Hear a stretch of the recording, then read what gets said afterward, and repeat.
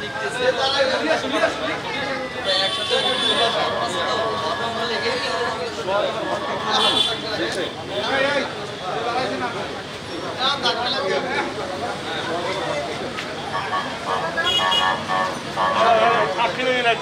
এই যে জনি তোমার কইছে কি সাক্ষী আনতে দিচ্ছি না এবার জানা দিকে আমি এদিকে আসো শুনে এদিকে নিয়ে আসো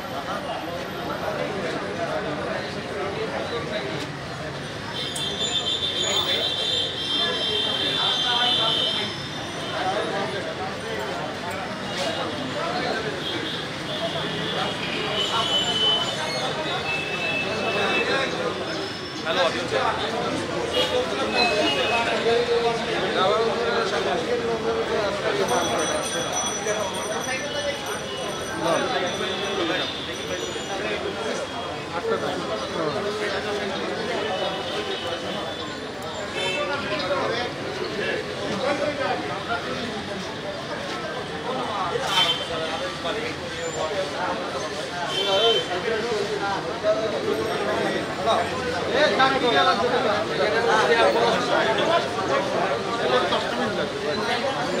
you.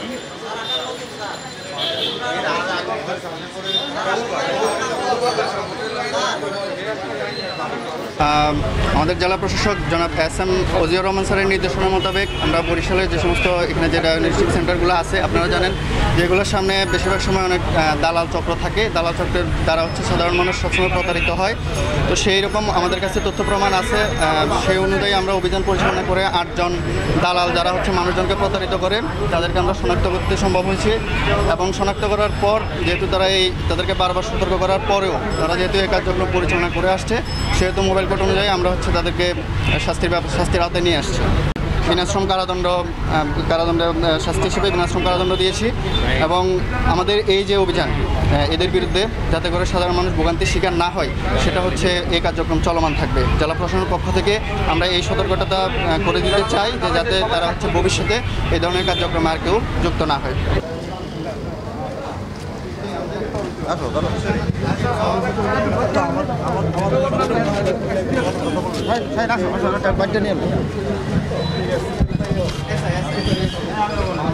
বাসার দিলে দাও